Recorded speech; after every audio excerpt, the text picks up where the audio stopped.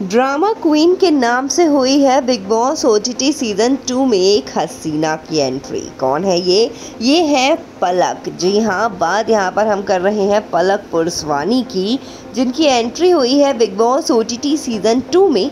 Hashtag जैसे सभी contestant को दिए गए हैं, वैसे ही उन्हें हैशटैग मिला है ड्रामा क्वीन का। आखिर कौन है ये ड्रामा क्वीन पलक? क्या रिश्ता है इनका रूबीना दिलैक से? और क्या वाकई ड्रामा क्रिएट कर पाएँगे ये उतना जितना इन्हें हाइप दिया जा रहा है या फिर जिस नाम से इनकी एंट्री हुई है बिग बॉस के घर में? कई सारे सवाल हैं। डामाडोल रहा है वैसे मैडम का करियर पूरी डिटेल्स आपको बताएँगे यहाँ टीवी धमाका की इस खास रिपोर्ट में। बहुत स्वागत है आपका टीवी धमाका पर। लेकर हाजिर हैं आपके लिए बड़ी अपडेट पलक पुरस्वानी आखिर कौन है? चलिए आपको पहले यही बता देते हैं।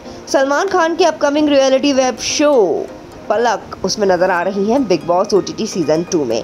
पलक पुरसवानी की अगर बात करें तो वो dance reality show Nach Baliye के सीज़न नौ में नज़र आई थी, जहाँ पर वो नज़र आई थी अविनाश सचदेवा के साथ। जी हाँ अविनाश सचदेवा के साथ वो नज़र आई थी। अविनाश वही है जो Bigg Boss O season two में आ रहे हैं, रुबीना दिलैक के एक्स बॉयफ्रेंड हैं। डांस के अलावा एक्ट्रेस हैं वो मॉडल हैं फ़ैशन डिज़ाइनर भी हैं। ये रिश्ते हैं, प्यार के शो में काम कर चुकी हैं। बड़ी देवरानी शो में भी नज़र आई थी। इसके अलावा कुछ वेब शोज़ में भी वो नज़र आई हैं और अब वो नज़र आने जा रही हैं।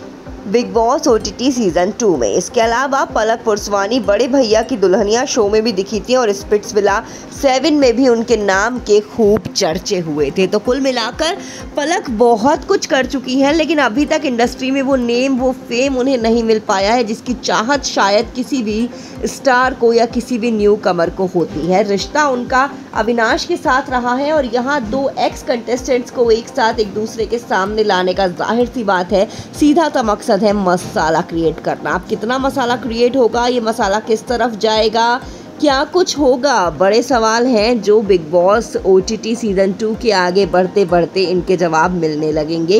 बिग बॉस ओटीटी की अगर बात करें तो कहा जा रहा है बिल्कुल अनफिल्टर्ड होने वाला है ये शो यानी कि सब कुछ होगा एकदम सामने।